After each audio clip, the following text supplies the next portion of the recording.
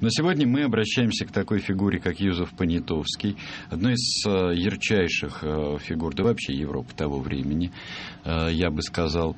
Но я бы хотел еще предварить наш рассказ, и, наверное, мы так будем делать с разными темами, музыкой, потому что есть замечательная совершенно песня.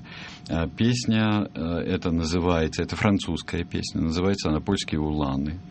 И песня это полностью, ее полное название «Прощание конных егерей с польскими уланами», где описывается, какие они были товарищи по оружию все это году. время. В 2014 году, совершенно верно.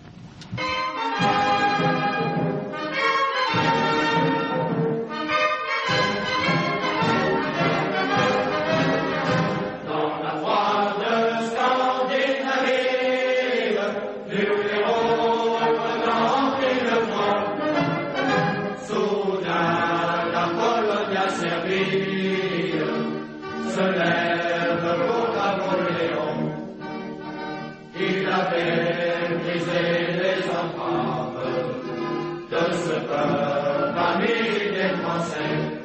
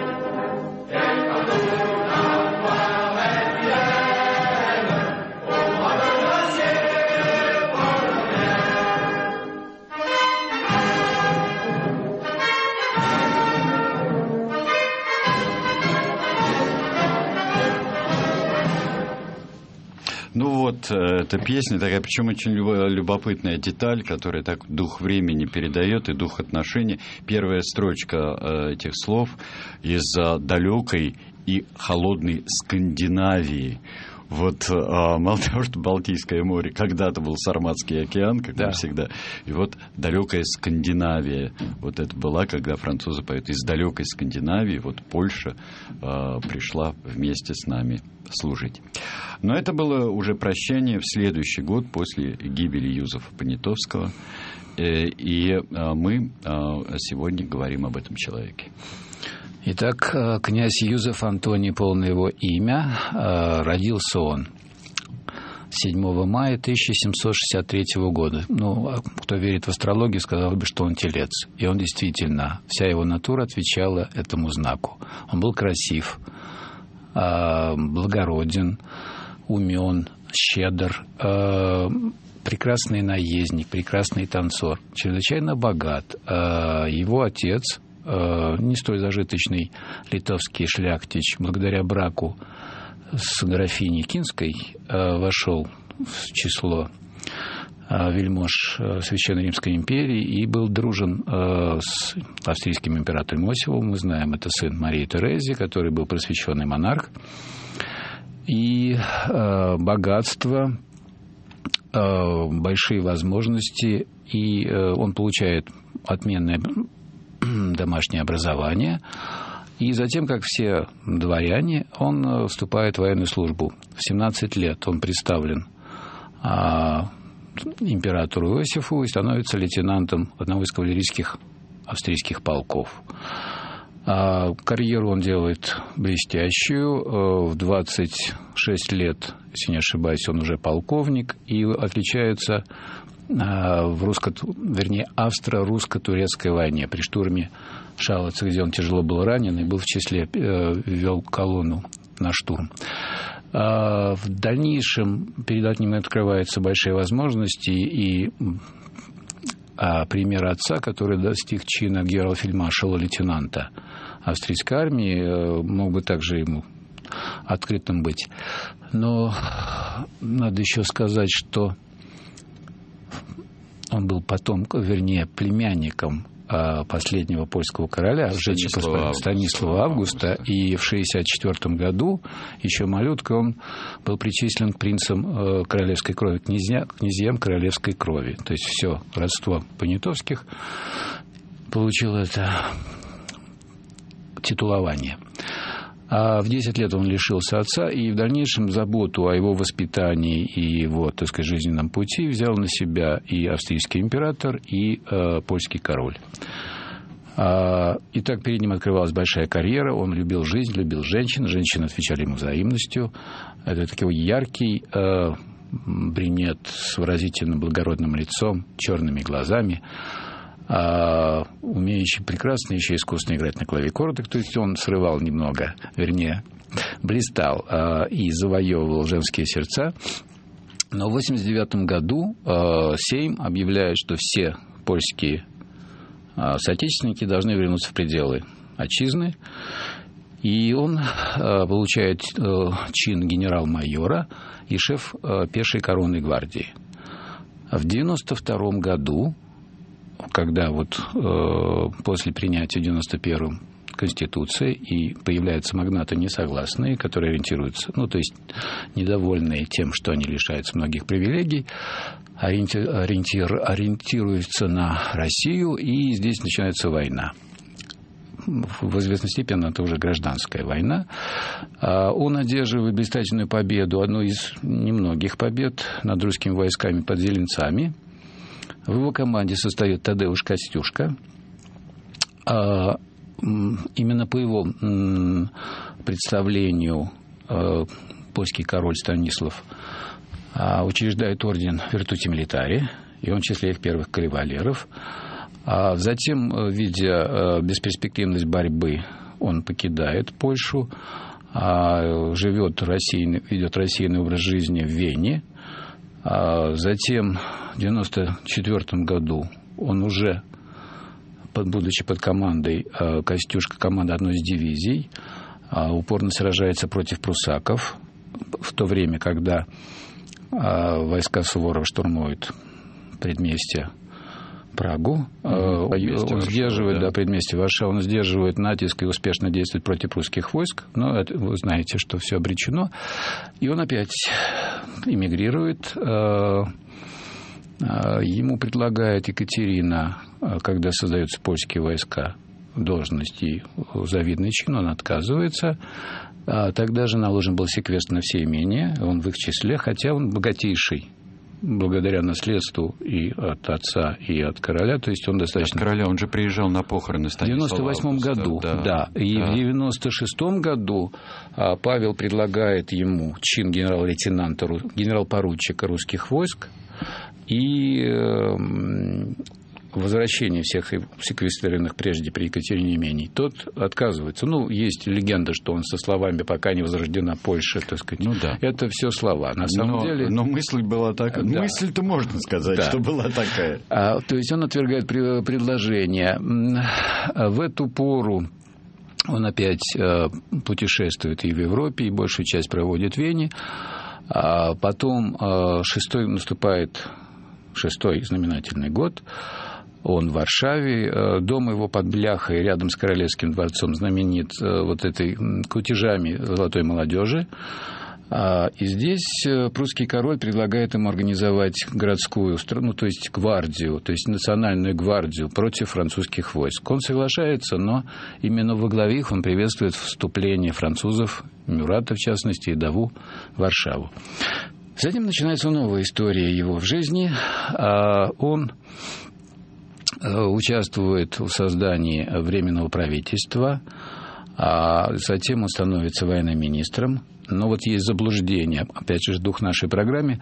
Э, многие приписывают, что именно он создатель польской армии, возрождение польской армии. В действительности это не так. Это не так. Маршал Даву отдал несколько лет для создания по образцу французскому и многое сделал для усовершенствования, учитывая кодекс Наполеона, который был введен, все равны и э, честь э, присутствует все больше, и интересы не сколько э, своекорыстные, а общие. И он э, продолжает, кстати, у них есть такое некое охлаждение в отношениях, недоверие. И у Наполеона есть недоверие, потому что все поляки в это время уже давно сражались на стороне французской революции, это польские легионы, это и Сулковский, и Домбровский, но там не было Понятовского так же, как и не было тогда э, Костюшка, который Наполеон вынужден после обращения к нему принять команду, что пока не будет, что если он не гарантирует, что император не гарантирует возрождение Польши, он не будет у него служить, и тот его обзывает дорогом и завершает это дело. Все-таки, если посмотреть вот сейчас в скобках Костюшка, а, если мы читаем сейчас, вот э, смотрим историю, Костюшка больше кто вот внутренне? Он больше политик, он больше деятель политический возрождения Польши, или он военный? На мой взгляд, э, в нем счастливое сочетание политика и военного. То есть он и военный, хотя в чем-то он, наверное, романтик. Э, в чем-то есть э, романтизм, но в то же время вот его недоверие к посулам французского императора и понимая, что используют поляков их порыв э, как пушечное все-таки мясо, я думаю, что здесь романтизм, но в то же время много трезво он оценивает. А, итак, Понятовский становится военным министром. Спустя некоторое время а, он главнокомандующий всеми польскими войсками – он вкладывает большие деньги в организацию, э, хотя живет он непосредством и в долгах, но кредит у него, как всегда, естественно, есть. Девятый год наступает. Война э, Франции с Австрией. И э, Наполеон сражается против лучших сил, возглавляемых герцогом Карлом, а другой эрцгерцог Фердинанд вторгается в пределы новообразованного герцогства Варшавского.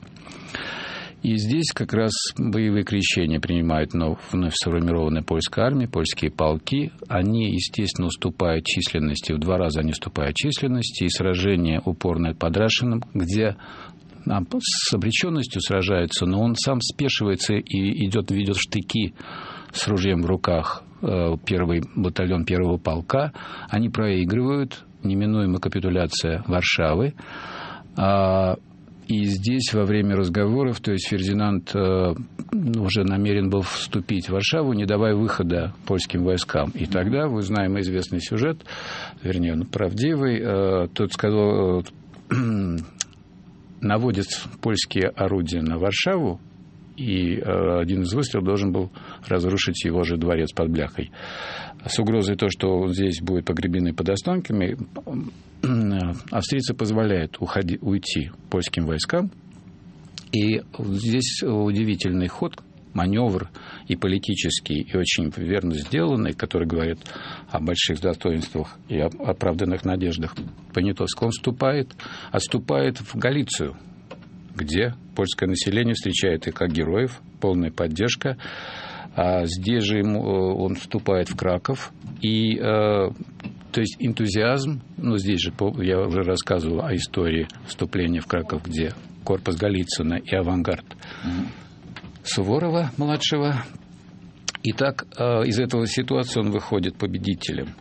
И в итоге его то есть его уверенность в успехе, его умение воодушевлять войска. То есть он становится обожаемым а, предводителем всего польского войска. Ну, еще и твердость э, одновременно. Да. И одновременно гибкий военный ум. А при этом метаморфозы из светского жуира льва, представитель золотой молодежи, человек становится... Ох, одно другое не, не мешает. Он уже зрелый. Не мешает. Он уже зрелый. И еще хочу сказать, что 63-й год, напомню, что он на 6 лет старше Наполеона. На 6 лет. лет.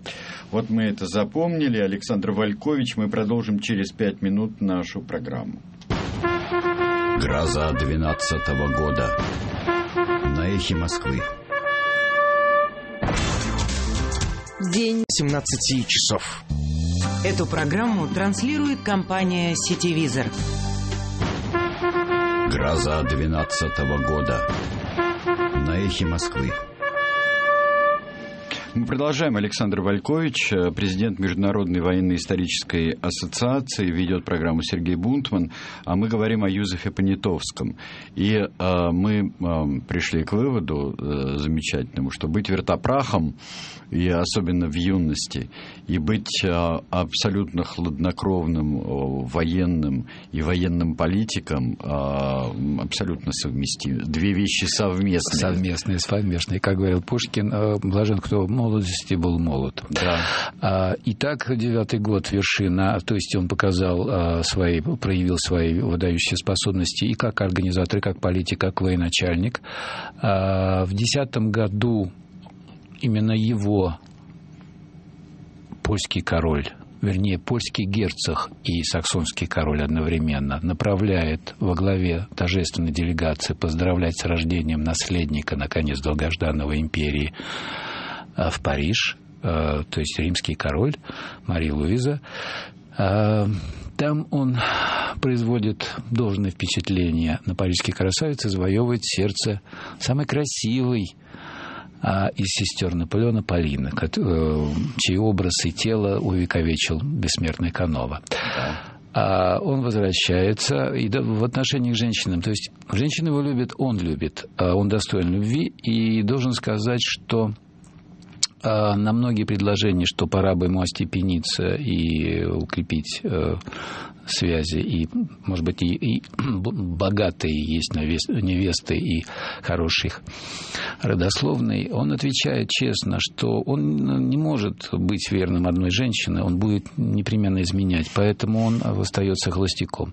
В итоге за свою жизнь, э, то есть у него было двое э, дочь и сын, э, и помимо долгов, то есть у него осталось небрачные дети, а вот э, сына его кузина графини Потоцкая, которую он, наследовал большую часть своего богатства и его любимое имение Яблона, она, чтобы не делить наследие это, она его воспитывает э, близко к Понятовскому, но отдаленно напоминающей фамилии. И, э, то есть, образование получает и, так сказать, выходит в свет. Но не под фамилией Понятовского. А, Возвращаемся. А, Десятый год, одиннадцатый год проходит в подготовке, усиленной подготовке, увеличивается армия, а, и пуста казна. Наполеон делает таким образом, что Франция, ну, империя, вернее так, на благодаря тем огромным контрибуциям и трофеям во время предшествующей кампании, содержит польскую армию, но они отправляются в Испанию лучшие части этих войск. А в дальнейшем, э, в одиннадцатом году, когда, напомню, я уже рассказывал, Александр хотел бы превентивный удар и делать зондаж среди Польши, он э, предлагает через своих эмиссаров Понятовскому перейти на русскую службу и с тем, чтобы в дальнейшем он получил то, что он достоин. Все напоминают, что его дядя король, и Наполеону, так сказать, периодически тоже дают понять, что, наверное, было еще впереди у него многое и приятного, и нужного. И уже происходит, нет того недоверия былого, и тот же Даву рекомендует какого человека чести и преданного Франции. И действительно, благодаря тому, что э, при Наполеоне невзирая на что возвращается польская государственность, хотя он избегает названия Польши. Да. Существует герцогство Варшавское. Хотя он напишет потом. Он напишет потом, но это уже размышление. Это размышление на Елене, это уже совсем другое. Он напишет, что вот если уж польский король, то Понятов. Понятос, который был, имел все качества, Да, и, да, и все да. это, это так. И я бы После его, чего и я бы его сделал. помолчал. Там пишет рассказ. Это все его мечты. А, вернее, не мечты, а желаемое выдает желаемое за действительное. Итак, об этом шаге Александра а, извещает Понятовский Наполеона. Это еще раз укрепляет его ну, уверенность, что это вернейший союзник. В марте 2012 года он назначен главнокомандующим пятым корпусом Великой армии. В это время под ружье Понятовский смог выставить свыше, как я уже говорил, 80 тысяч, э, но часть э, его войск была распределена по другим корпусам и часть кавалерии. В итоге он э, достаточно боеспособным войском вступает также в пределы России. Отличается, есть у него, он осмелился императору выговорить, что э, его войска отправились в поход плохо снабженными, и э, марши совершать, то есть Наполеон упрекает, что достаточно долго он шел до Смоленска, и у них между ними размолвка некая вот. И вспылив, Понятовский со своими войсками вот э, штурмует, показывают, э, на что способно его самоотверженное войско, а именно под Смоленском. Естественно, напоминая о прежней славе предков. А затем Бородино, а его корпус действует под Шевардино, и именно он э, действует на левом фланге Великой Армии, и действует он против утиц. В упорной борьбе он все-таки отбрасывает русские войска. А дальше Москва. Москву они проходят мимо, как большая часть, потому что его корпус был э, на усиление авангарда Мюрата. И здесь приводятся современники его памятные слова. «Мы вступаем в Москву с ее несметными сокровищами оставленными. Никто не осмелит выйти из строя, позарившись на это добро. И они проходят мимо. А, я не говорил, что он а,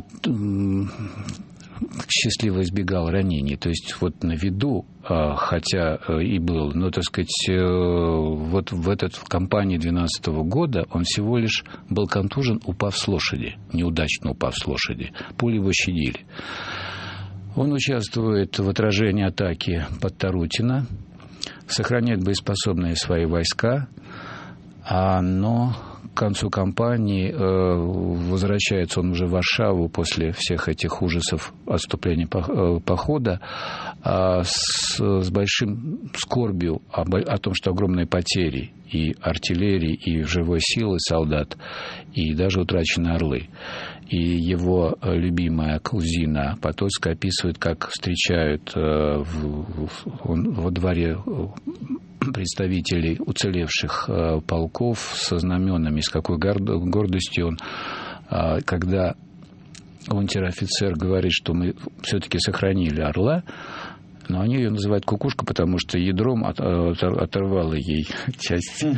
тела. А, но вот из ранца вытаскивает, и он счастлив обнимает. И здесь он устраивает ну и до этого он всегда щедрый, а, несмотря на то, что он в долгах, то есть он всегда щедро угощал своих служивых и даже учреждал пенсию. Совместимо. Совместимо. Тот, в долгах не бывает скупцом. Это так.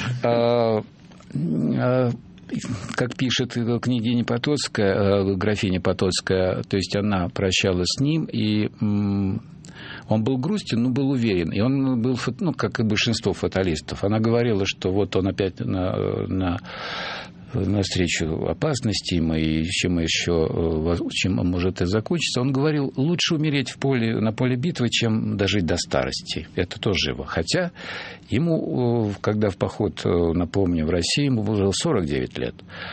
А в Кракове он формирует новую армию, становится это называться корпус восьмым корпусом, а должен еще его некой слабости, хоть он уже в летах, и ну, при этом он прекрасная фигура, прекрасный наездник и по-прежнему любим женщинами. Булгарин, который накануне э, навещал его, отмечает эту слабость, что он подкрашивает волосы чтобы быть по-прежнему молодо выглядеть. Но это не, не умаляет его значения, его любезности, утонченно, то есть аристократ во всех лучших проявлениях. Итак, э, упорные бои, кампания 13 года – а, Лейпциг.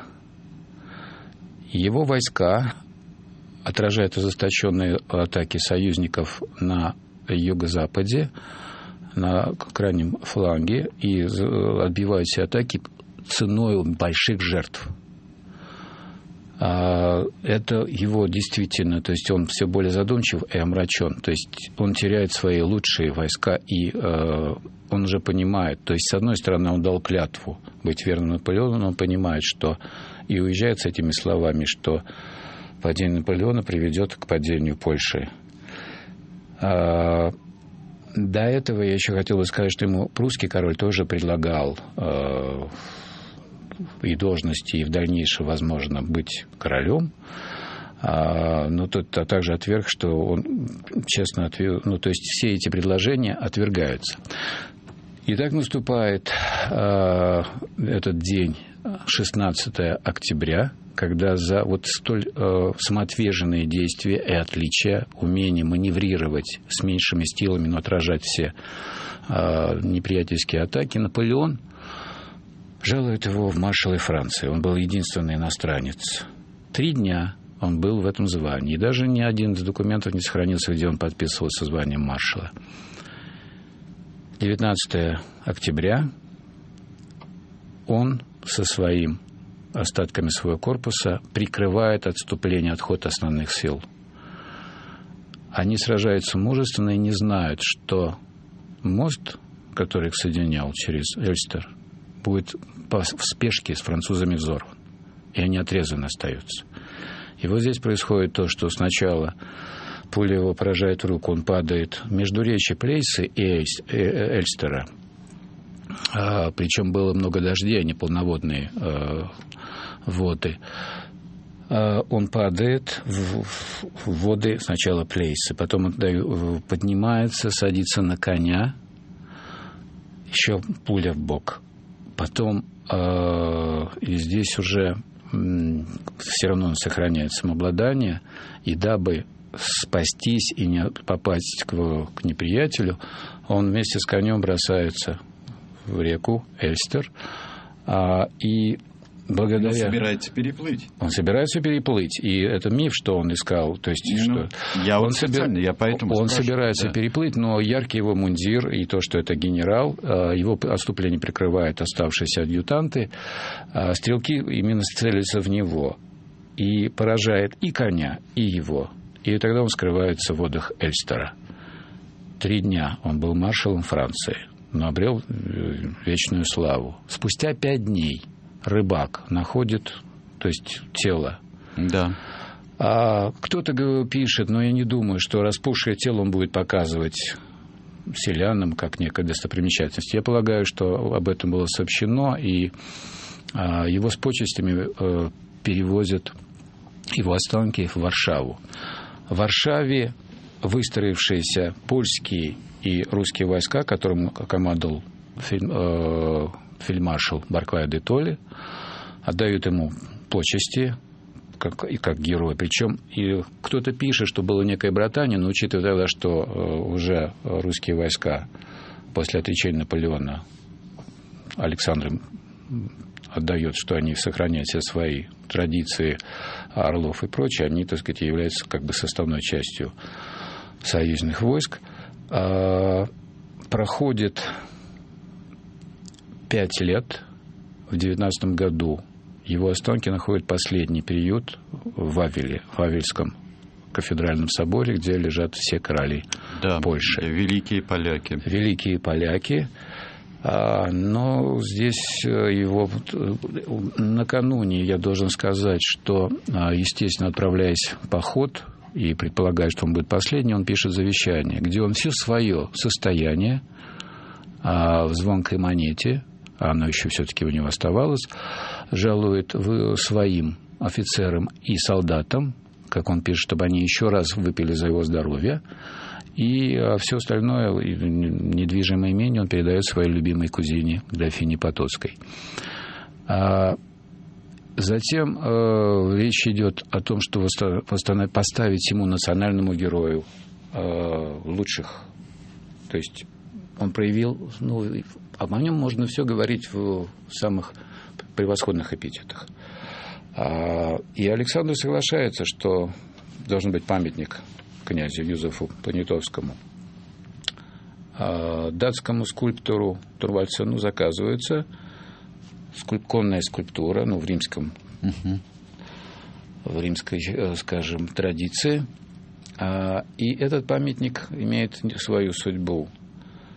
А уже революция, 30-31 год, и не хотел бы напоминать о таких громких именах. Ну, то есть решил, как и сделав орден Станислава русским, а, Круль Николай угу. дарит этот памятник а, Паскевичу, который получил титул Варшавского князя, и тот устанавливает его в саду своего Варшавского дворца. А только э, в 20, когда мы отступаем, мы вывозим этот памятник. В 23 году, я имею в виду, русские власти вывозят этот памятник в числе других ценностей из Варшавы, уступая немцам.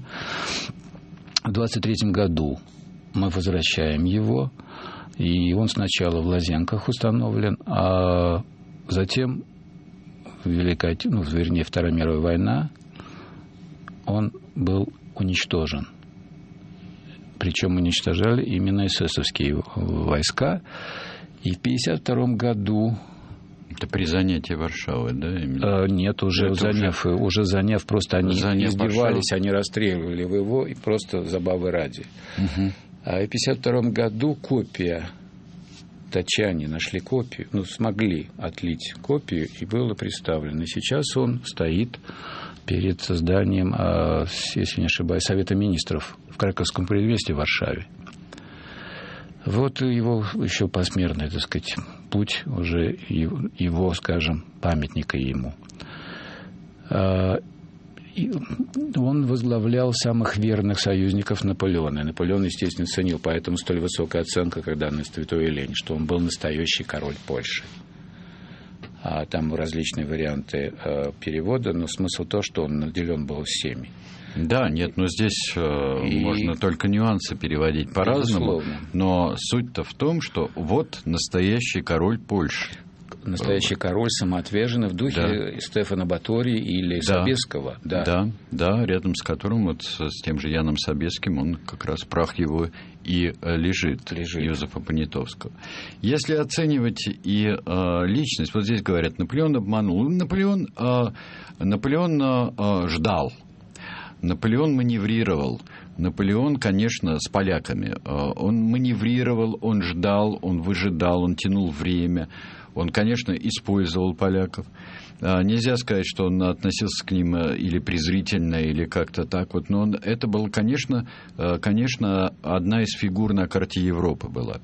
Но обмануть окончательно у него не было времени. А, да потому здесь... что не было никакой ни победы, ничего. Польша – это яблоко раздора между ним и Россией. И, естественно, а, поэтому и название что не будет вообще упоминаться Польша вновь на карте мира. А, но могу сказать, что а, вот опять же обмен мыслями, а, когда перемирие в 13 году, перемирие, которое и союзники, и Наполеон как передышка. Наполеон спрашивает мнение Понятовского, что бы он на его месте сделал. Тот бы сказал, что я бы заключил сейчас мир, чтобы затем подготовлен наступить, продолжать войну. Наполеон ему ответил, я буду продолжать войну, чтобы потом заключить лучший мир. И история рассудит нас, кто в этом будет прав. Прав оказался все-таки князь Понятовский. В принципе, да. В принципе, да, хотя и... В тринадцатом году еще была возможность, действительно была возможность при всей решимости Александра биться до последнего с Наполеоном в Но... новых границах э, и сохранить. Это такая тонкая материя, э, да, возможности, э, да, возможно, даже в 2015 году еще, еще в была какая-то... году нет, в 2015 году уже нет, нет, в 2015 году нет. Кто знает, как бы психологически повернулась повернулась не подойди Блюхера, подойди Груши. А, как бы повернулась. Вот, вот нет, Бог его Нет, знает. нет, нет, сослагательное, я еще раз, естественно, да. сослагательное наклонение не терпит истории, но я могу сказать, что на подходе были австрийские и русские все. войска. Да. Превосходство. Здесь, здесь бы смело все. Безусловно. Здесь бы смело, и никакого, и уже, конечно, Франция была настолько и психологически истощена, и истощена, и расчет Наполеона на то, что э, разногласия между союзниками на Верском конгрессе, когда готовы объявить войну прежние э, союзники России и Пруссии. Именно Александр предлагает забыть о раздорах и против общего врага.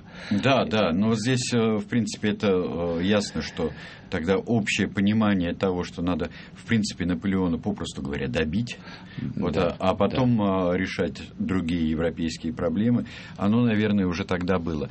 Но 13-й год у нас еще грядет, и, конечно, будут не, не огромнейшие циклы, как у нас сейчас в 12 году, но мы будем говорить о ситуации 13 -го года, как раз 200 лет спустя. Но именно на, на поле битвы э, я должен сказать, что э, его имя князя Юзефа Понятовского увековечено Триумфальной арке, и на одном из фасадов Лувра да. есть его фигура. И есть бульвар имени Понятовского в а, Париже. Где Маршальское, да, да, да, да, да, кольцо, да. кольцо бульваров да, Маршальское. Да. Есть бульвар Понятовского. А, здесь Дмитрий спрашивает, а, как оценивает историография польская вклад а, Понятовского в дело возрождения, возрождения Польши. Я бы еще прибавил, есть ли единодушие по отношению к такому вот герою, или, или все-таки историки как-то так анализируют достаточно бывает и скептически. Нет, я скажу, что наиболее обстоятельная его биография это Симона Шкинази, которая вышла в 30-е годы. Она сохранила свою э, до сих пор по богатству материалов. А его переписка с польским, э, с саксонским королем и герцогом польским на французском языке также опубликована. Я могу сказать, э, появляются новые сведения а, о вкладе его, а, скажем, ничего нового на самом деле, кроме неких э, дополнительных сведений, и то, что он все-таки смел отстаивать э, и заботиться об армии и требовать от Наполеона, коль он взял на себя содержание нужного. То есть здесь я полагаю, что э, ничего нового, кроме каких-то частностей, не появится в его образе. Естественно, ему приписывают, якобы он сказал, но это уже легенда, апокриф, что умирая, он воскликнул – Бог э, верил мне честь Польши, и я ему, только ему ее верну. Это уже э, сочинено. Ну, Но ну, это конечно, всегда, да, естественно. Да. Но это отвечает духу и образу его всей жизни. Конечно. Это, это, это действительно человек чести, рыцарь. Жизнь, ну, то есть это действительно в лучших проявлениях. Мужчина, вот, э, наделенный от природы щедро, но он также щедро делился с другими ей. Да, вообще удивительная фигура. И, может быть, э, в ней были несколько вот таких выдающихся польских фигур того, того времени, того времени да. А, в которых по-разному отражается и история, вот вся э, несчастная история потери государственности. Я бы не сказал, что э, нужно на дядю Понятовского вешать всех собак если, за упразднение польской государственности. Он, я не думаю, что Станислав Август Понятовский был, был как как-то уж вот-вот-вот лично виновен. Нет, он был заложник ситуации. Во-первых, а потом польская история во многом шла уже два века к тому, к шла, этому развалу, шла да. к тому, что а, разорвут Польшу на части. И опять же, все э, при разделе все три государства Российская империя, Прусское королевство и Священная Римская империя настаивают на сохранении всех их незабываемыми законами, которые на самом деле подрывают устой Польши. Вот это право вето, вот эти все и прочее. Ну, Станислав Август пытался наоборот. Укрепить. Наоборот, да. Но... Помню Яна Казимира, который говорит, все, все короли как короли захотят, соберут армию, будет воевать, будут воевать именно за свою страну, а я должен у всех спрашивать, да. кто как думает. Это тоже трагическая фигура. Станислав Понятовский трагическая фигура. Да, ну вот все по-разному, и Юзов Понятовский а, тоже свои как может быть, и яркие, и, а, может быть, преувеличивают а, французские а, именно и читатели, и комментаторы, когда я очень много читал вот в форумах, говорят, вот спасибо полякам, что они сделали нашу французскую кавалерию такой, какой она была при Наполеоне. Вот это, вот это поразительное. Это преувеличение. Преувеличение, это но оно очень трогательное. Это так. Это оно так. очень трогательное. Так же, как а, очень многие трогательные комментарии относятся к совершенно другой эпохе, к Второй мировой войне, когда союзники а, будут а, почитать тех поляков, которые, которые сражались против нацизма. Вот так же. Это так. Может быть, и, бл- и из благодарности, и преувеличивая, и романтизируя эту роль. А мы сегодня не впали в такой грех, но, мы, а, но сегодня мы именно фигуру Юзефа Понятовского, мне кажется. Блестящая и вот, трагическая фигура. Блестящая и трагическая. Мы постарались ей отдать должное.